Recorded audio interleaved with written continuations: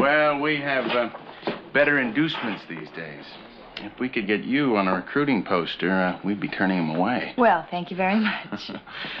Listen, it's uh, part of my job to show you around the hospital, but uh, I'd rather get you better acquainted with the whole base operation. Including yours, Dr. Canlon? Yeah, well, especially mine. Uh-huh.